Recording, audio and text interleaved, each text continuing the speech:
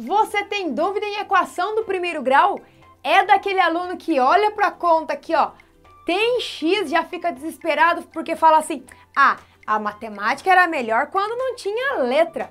Mas gente, calma, porque foi pensando em ajudá-los a suprir essas dificuldades que vocês têm na parte da matemática que tem a letra.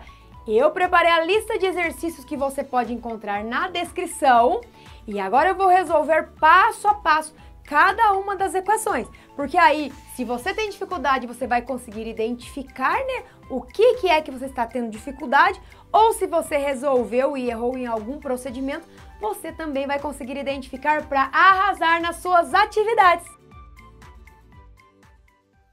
Já deixa o seu like para a aula de hoje, se inscreve no canal da Giz e ativa o sininho para você receber as notificações, né, gente? Aí tem lista de exercícios, tem resolução, aí você vai tirando suas dúvidas e recebe todas as notificações das aulas que eu publicar para ajudar você aí com as atividades. Então, dá uma olhada aqui nesse caso. Eu tenho uma equação. Por que, que eu tenho uma equação? Primeiro, porque eu tenho o termo lá que é a nossa incógnita, o termo lá que é o termo desconhecido, ele é a nossa incógnita.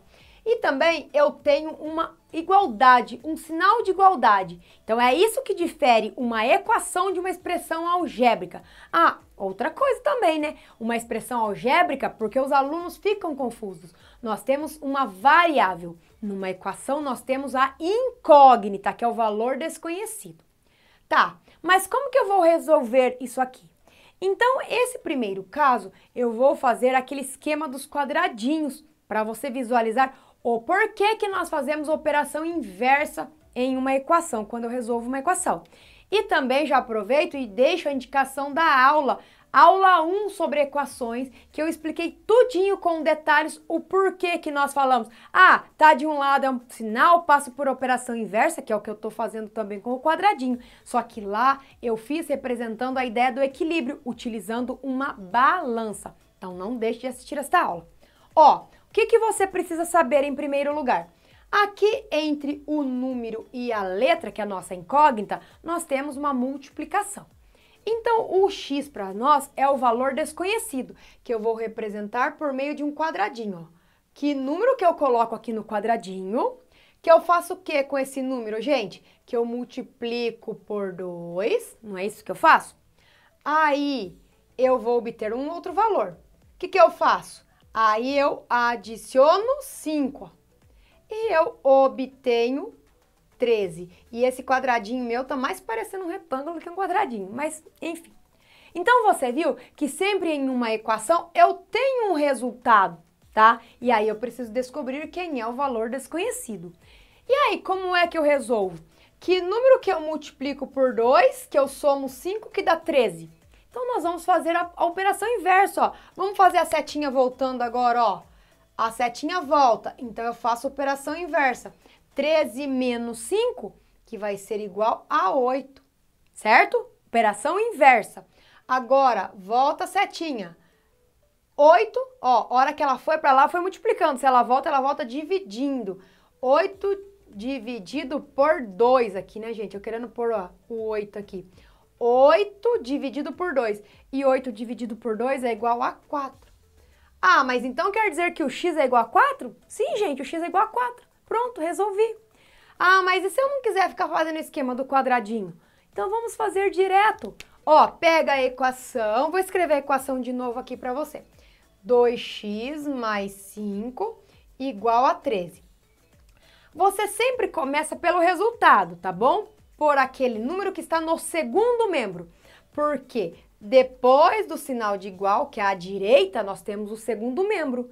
E antes nós temos o primeiro membro. Para você que assistiu aquela aula que eu já citei, você está sabendo o primeiro membro e o segundo membro, né? Aí o que, que eu faço? Então eu faço 13. Aí tá vendo o 5 aqui, ó? Ele não tava mais. Por isso que a gente fala, passa pro outro lado, passa negativo, passa com o sinal trocado, ó ele vai passar menos, ó. Olha aqui, ó, operação inversa. Ele foi mais e voltou menos. Tá vendo? Então faz 13 menos 5. Ah, se aqui fosse menos, então faria mais aqui. 13 menos 5 igual a 8. Agora, o que, que eu faço com esse 8? Ó, esse 2 aqui não está sendo multiplicado com a incógnita? Então, para ele sair dali, ele passa dividindo aqui o 8. E 8 dividido por 2 é igual a 4. Aí, consegui resolver. Então, x vai ser igual a 4 nesse caso aqui. Prontinho, gente. Segundo caso, o que, que eu tenho de diferente na letra B da letra A? Você acertou por falar na resolução da letra A? Você acertou aqui, conseguiu chegar no x igual a 4? Muito bem. Nessa daqui, o que eu tenho de diferente é que aqui eu tenho dois termos que estão com a incógnita. Nesse caso aqui, eu só tinha um termo com a incógnita, né? Ah, mas eu não posso pegar e juntar esses dois termos para facilitar? Pode, gente. Vamos juntar esses dois termos. Aqui, quando não tem ninguém, é um. Juntando 1 com 2, 1 com 2, nós vamos obter 3. 3x mais 3 igual a 18, ó. Então, veja que eu simplifiquei a escrita, tá? Os enunciados, eles trazem mesmo com vários termos para você visualizar. Ah, será que o aluno sabe o que são termos semelhantes? Como juntar esses termos? Então, é por isso. Agora, como que eu faço mesmo? Vamos ver se você pegou o jeito. Vai fazer 18, que aqui é o resultado eu faço menos 3, ó. Ele estava mais, então eu faço menos, que é o mesmo raciocínio daqui. 18 menos 3 é igual a 15. O que, que eu faço agora? Esse 3 não estava sendo multiplicado com a incógnita? Então, agora eu faço uma divisão. 15 dividido por 3. E 15 dividido por 3 igual a 5. Então, nesse exercício, o x vai valer 5 tá? Porque cada exercício X vai ter um valor, porque cada caso é um caso. Certo, gente? Acertou isso daqui? Se acertou, já dá um check aí, já dá um check aí que acertou. Errou? Não se preocupa. Olha bem a resolução detalhada que eu fiz e veja onde é que você está errando, porque aí você não erra mais. Vamos lá para os próximos? Agora eu quero ver quem é que acertou essa letra C, porque tá diferente dos outros que nós fizemos. Lá nos outros, o número estava sendo multiplicado com a incógnita. Aqui ele está dividindo. Será que é diferente? Gente, é o mesmo jeito de fazer. Sempre você deve pensar em operação inversa. Então vamos começar aqui pelo 22. Então eu vou fazer 22, que é do segundo membro. O que, que eu faço mesmo? Tá mais 5, eu faço menos 5, tá? 22 menos 5 vai ser igual a 17. E agora, o que, que eu faço? Esse 2 aqui, ele está dividindo o x, não é? O que, que ele vai fazer então? Operação inversa da divisão? A multiplicação. Então, ele vem aqui multiplicando. Então, nós vamos obter 34. Então, nesse exercício, o x vai valer 34. Por que mesmo que é 34? Porque 17 vezes 2. E ó, para você que ficou confuso e quer fazer no quadradinho esse caso que é diferente um pouquinho, ó quadradinho dividido, olha aqui, dividido por 2, que vai dar um número. Daí o que, que eu faço? Daí eu faço mais 5, ó, sempre tô de olho aqui, ó. E vai resultar em 22, ó. Ó, não é essa situação aqui? Agora vamos fazer a operação inversa, ó. 22 menos 5, ó. Tá aqui, ó, 22 menos 5 que vai ser igual a 17, né? Agora, o que, que eu faço? Volta a setinha. Ó, era dividido, agora ele volta multiplicando. Então, agora eu faço vezes 2. E 17 vezes 2, 34. Então, para você que prefere fazer por esse jeito, que é mais trabalhosinho, né, gente? Desenhar tudo certinho, pode fazer, fique à vontade. Sempre vai dar o mesmo resultado. Acertou? Não acertou? Então, olha onde é que você fez errado ou qual parte você não entendeu direitinho, tá bom? Nesse outro caso, tá diferente também. Você tá vendo que tá um caso diferenciando do outro. Aqui, veja que nós temos no primeiro membro, e aqui o segundo membro, nós temos letra no primeiro membro e letra, que é a incógnita, no segundo membro. E veja que temos número sozinho e número sozinho. Então quer dizer que nós vamos ter que colocar os termos no mesmo lado. Então nós vamos combinar assim. Tudo que tem, tudo que tem, não vamos falar assim não, né? Os termos que tem a incógnita, nós vamos deixar no primeiro membro. E quem não tem a incógnita vai vir aqui para o segundo. Então, nós vamos reagrupar isso. Só que a partir do momento que ele troca de membro, tem que pensar na operação inversa. Então vai ficar aqui o 7x que já está aqui. Eu não troco o sinal dele porque ele permaneceu no primeiro membro. Quem que vai lá acompanhar o 7x? É esse 2x, não é? Esse 2x vai sair daqui e ele vai acompanhar o amigo dele, o 7x. Só que ele estava menos aqui, então a hora que ele vai mudar de lado, ele vai ficar mais, ó. Operação inversa, tá? E o agora os números que não tem a incógnita, que já é o 84, que eu copio aqui no segundo membro, não troco o sinal porque ele não mudou de membro. Quem é que vai vir com 84? Não é esse 30? Ele vai sair do primeiro e ele vai vir aqui para o segundo. Qual sinal, gente, que ele vem? Ele estava mais, porque quando não tem sinal aqui é mais. Então ele vai vir menos. Olha bem como é que eu fiz agora. O que, que eu posso juntar nessa questão agora? Aqui eu não posso juntar esses dois termos, já que os dois têm a mesma parte literal, que são semelhantes. Então, 7 mais 2 são 9. 9x igual 84. De 84 eu tiro 30, é igual a 54, né? Fazendo a junção. Bom, e agora? Não ficou parecido com esse que eu preciso subtrair primeiro? Já caiu direto. Como que eu faço agora? Esse 9 não está multiplicando a incógnita? Então, ele vai passar para o membro fazendo o quê? Para o segundo membro fazendo a divisão. Então, aqui eu faço já direto 54 dividido por 9. E 54 dividido por 9 é igual, cadê a tabuada? Quem que tá bom na tabuada? Muito bem, é igual a 6. Então, nesse exercício, eu tenho que x vale 6, ó. Tira a prova real, 6 vezes 9, 54. Pronto, olha aqui, quer tirar a prova real nesse? 34 dividido por 2 dá 17, mais 5, 22. Perfeito, né, gente? Você viu como que nós vamos pegando o jeito? Por isso eu trouxe vários casos para você visualizar um a um e fazer a comparação na hora de resolver os seus exercícios aí. Nossa, gente, mas aqui na letra E a incógnita é Y, mas não precisa ser só X? Claro que não. Quem falou para você que é só X? Pode ser qualquer letra, porque eu estou representando um valor desconhecido. Então, é que é comum usar o X, é comum, mas não que é obrigado, tá bom? Vamos lá, arrumando essa equação igual nós fizemos na letra D agora há pouco. Nós temos que colocar no primeiro membro, então, os termos que tem incógnita e no segundo quem não tem. Ou se quiser fazer o contrário, quer fazer o contrário? Colocar no segundo quem tem a incógnita no primeiro quem não tem? Pode, vai dar na mesma, tá só o lado trocado. Então vamos lá, do jeito que nós acostumamos. Então no primeiro lado eu vou deixar quem tem a letra, que seria o 9y. Quem é que vai lá com o 9y? O 14y. Esse 14, veja aqui o sinal dele aqui, olha, está sendo somado aqui. Então, ele vai passar para lá com menos 14. Então, vai ficar 9y menos 14y. Igual. Igual a quem, gente? Igual ao 10, que já está aqui no segundo lado, por isso que eu não troco o sinal dele. E o 8 que está mais vai ficar menos aqui, ó. Lembrando da operação inversa. O que, que eu posso fazer agora? Ó, aqui eu tenho 9 e eu devo 14. Eu posso juntar esses dois termos. E 9 tira 14, eu tenho 9 e devo 14, vai ficar devendo 5 ainda, meu Deus. Fico devendo 5, 5y.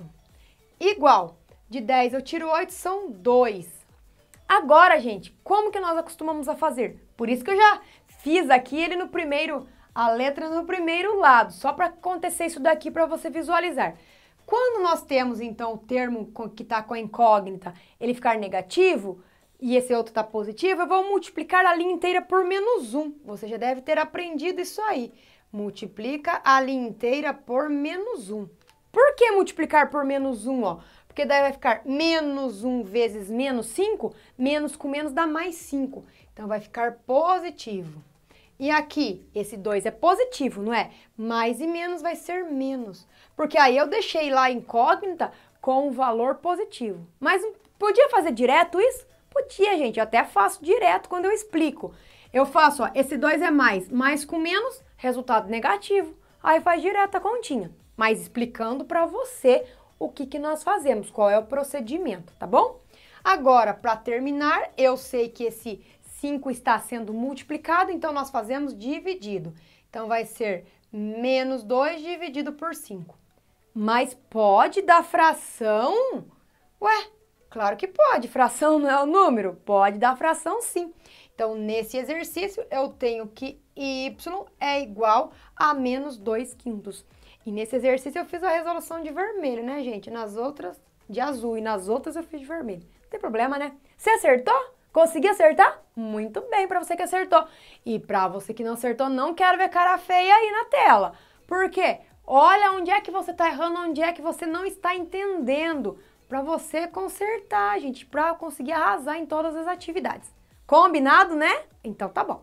Cadê o sorrisinho que tá feliz então? Então tá bom, gente. Porque esse caso também vai ser diferente. Esse caso da E, da e era igual ao anterior, agora esse aqui é novo já. Como que eu faço? Que esse negócio 5 entre parênteses, presta bem atenção. Quando você visualizar isso aqui, indica que esse 5 está multiplicando os dois números que estão dentro dos parênteses, tá bom? Então aqui eu devo aplicar a propriedade distributiva da multiplicação. Vulgo chuveiro, chuveiro. Lembra do chuveirinho que a gente fazia? Eu vou fazer então 5 multiplicado com x e 5 multiplicado com 2. Então vai ficar 5 vezes x, 5x. E 5 vezes o menos 2 dá menos 10. Esse 5 é mais, mais com menos na multiplicação resulta em menos. Igual a 20.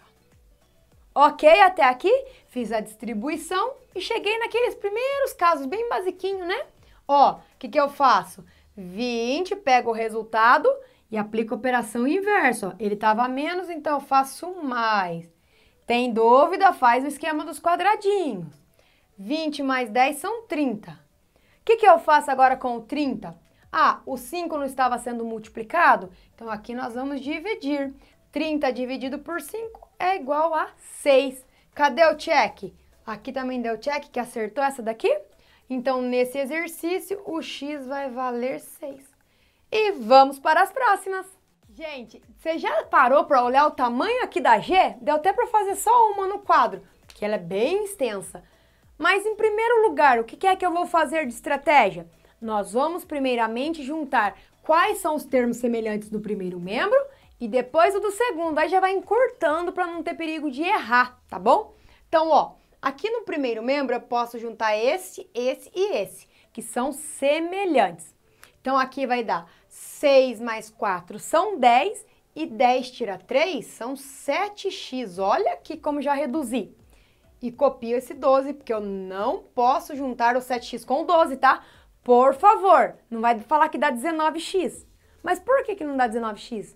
Gente, porque aqui tem x e aqui não tem. Como é que eu vou juntar? Não vai dar.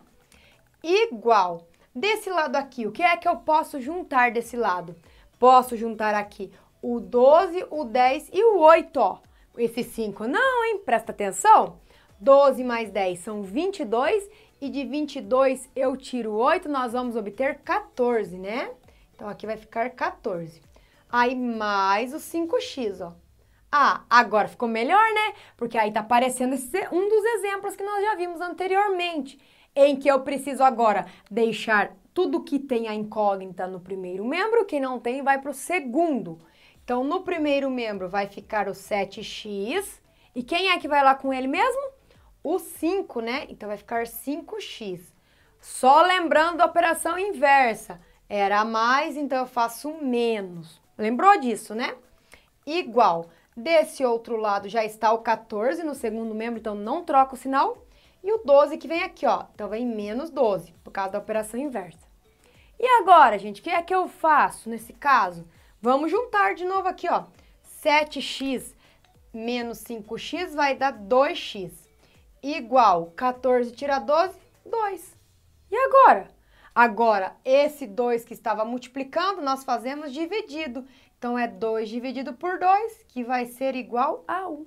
Então, nesse exercício, o x vai valer 1. E quero só ver o sorrisinho de quem que acertou aí. Dá um joinha pra Giz aí do seu lado da tela. Ou dá um sorriso, pelo menos. Ah, maravilha, gente. E pra você que não acertou, não vai fazer cara feia, não. Para e olha onde é que tá errando. Por isso, essa aula com a explicação detalhada. E agora eu quero ver quem é que acertou o último exemplo, porque envolve fração.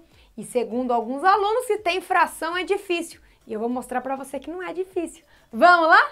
Então, gente, quando você olhar fração na equação, não vai sair correndo e falar que é difícil, não, tá bom? Ou falar que é difícil sair correndo, né? Tem que fazer na ordem. Vamos com calma. Primeira coisa a se fazer de estratégia, coloca um aqui embaixo. Agora observe, você tem os denominadores. 4, 2 e 1. Esquece do x por enquanto, gente. Agora vamos pensar nas frações. 3 quartos mais 5 meios igual a 26 sobre 1. Como é que eu devo proceder, então? Devemos tirar o MMC entre 4 e 2. Qual é o MMC entre 4 e 2? vai ser o 4, né? 4. Então, vai ser 4. Coloca o 4 aqui, ó. Então, cada fração está escrita com o seu novo denominador comum, que é o 4. Agora, nós vamos fazer o processo de equivalência. Mas por que, que eu cheguei no 4? Você está perguntando aí? Gente, nós fizemos o MMC entre 4 e 2. Quem é que se esqueceu de MMC? Como é que calcula? Então já deixo a indicação para ajudar você. Porque você tem dúvida em como calcular o MMC, não adianta a gente continuar a partir daqui fazendo o processo de equivalência. É necessário voltar sim. Volta lá na aula de MMC então, certo? Aí voltou, aí você voltou aqui de novo. Então aqui o MMC é 4, vamos fazer o processo de equivalência. Então, ó, do 4 para ter virado 4 foi multiplicado por quanto? Por 1, né? Então quer dizer que aqui o de cima também vai ser vezes 1. Copio mesmo, não vai mudar. 3x. Agora aqui, ó, do 2 para chegar no 4, eu fiz multiplicado por 2. Ah, você vai confundir com esse x do multiplicado? Vamos pôr o ponto então, ó. Tem problema, ó. Põe o pontinho de multiplicado, daí não confunde com o x da incógnita, né? Foi multiplicado por 2, que deu 4. Então aqui eu também multiplico por 2. 5 vezes 2 são 10. E ó, copia a letra X, ó. Viu como é que não é difícil? E de 1 para 4 foi multiplicado por 4. 26 vezes 4, cadê a conta de cabeça, gente? 26 com 26 são 52, 52 com 52 são 104. Então aqui vai ser 104. Ó, agora eu tenho uma notícia boa para você. Toda vez que eu faço, então, esse processo de MMC e faço a equivalência e eu tenho uma equação, marca bem, tem que ter uma equação. Vocês podem tirar o denominador. Quando tem uma equação, por causa da ideia do equilíbrio, o que eu tiro do primeiro membro ou tiro do outro prato da balança, não vai fazer diferença. Tirei denominador 4 do primeiro, denominador 4 do segundo. Não altera em nada. O que, que é que sobrou para mim então? Sobrou agora 3x mais 10x igual a 104. O que, que eu posso fazer de estratégia aqui agora? Nós podemos, então, juntar o 3x com o 10x, já que eles são semelhantes. E juntando aqui, nós vamos obter 13x igual a 104. E agora, gente, quero ver quem é que tá craque já. Como que eu faço para terminar e descobrir o valor do x? Você vai pegar agora 104 e faz o quê? divide por 13, porque o 13 estava sendo multiplicado com a incógnita. Então, vai dividir por 13. Quer fazer a continha de divisão? Quem está com dúvida em conta de divisão? Vou deixar uma indicação de aula para você também. 104 dividido por 13. Será que dá o número inteiro? Então, vamos tentar lá. 13, se eu pegar no meio, que é vezes 5, 5 vezes 3 dá 15, sobe 1. 5 vezes 1, 5, 6, ó. 65, tá bem mais. Vamos tentar então 13 vezes. Ó, uma estratégia que eu utilizo para fazer esse cálculo. Eu penso, ó, terminou em 4. Então, que número que eu multiplico por 3 que termina em 4? Tem que ser maior que 5, que 5 aqui. O 7, se eu multiplicar 7, ó, se eu colocar 7, 7 vezes 3, 21, termina em 1, não me interessa. Quanto? 8. 8 vezes 3, 24, ó, terminou em 4. Será que vai dar? Sobe 2. 8 vezes 1, 8, 10. Ó. Então eu penso, quando eu faço os cálculos mentais, eu faço assim. Não é porque sou professora de matemática, não. Já fazia isso desde quando eu estudava, assim como você está estudando aí. Eu elaborava na minha cabeça estratégia para fazer cálculos mentais. Então aqui quer dizer que vai ser 8 vezes o 13, que dá 104, gente. Então, estratégia de cálculo mental, cada um elabora qual é melhor. Então, eu descobri que o x vale 8. Ó. Então, eu coloco que x vale 8 e eu consegui terminar. E aí eu vou lá e dou um check na resolução. E me conta, conseguiu acertar? Quanto? Bastante? Pouco? Mas vamos falar, parar de falar conseguiu acertar ou errar, né? Vamos mudar a pergunta. Você conseguiu entender agora como que se resolve equação do primeiro grau? Você viu que eu fiz? São oito exemplos, né? Oito exemplos, expliquei detalhadinho cada um deles para você. Então, caso você não tenha entendido muito bem, volta nos vídeos, nesses vídeos mesmo ou nos anteriores que já tem várias aulas de equação no canal. E mais uma observação para você. Na resolução dessas equações, você, você viu quantos conceitos matemáticos anteriores eu utilizei? Ó, só aqui, por exemplo, MMC, equivalência de fração, divisão, só nesse exemplo, divisão, fora os outros que nós aplicamos naquele caso a propriedade distributiva, que era o chuveirinho. Então é importante, gente, se você não sabe determinado conteúdo, relembrar para aprimorar nesse caso aqui no que você está estudando certo? Por isso que muitos falam que a matemática é difícil. Por quê? Não lembra do conteúdo anterior. Como é que vai fazer esse conteúdo aqui? Ok, gente? Então já aproveita, deixa o like para a aula de hoje, se inscreve no canal da Giz e ativa o sininho. Aí recebe as notificações de todas as aulas que eu publicar. E não esquece de compartilhar essa aula com os seus colegas e a lista de exercícios junto, né, gente? E eu vejo você na próxima aula. Tchau!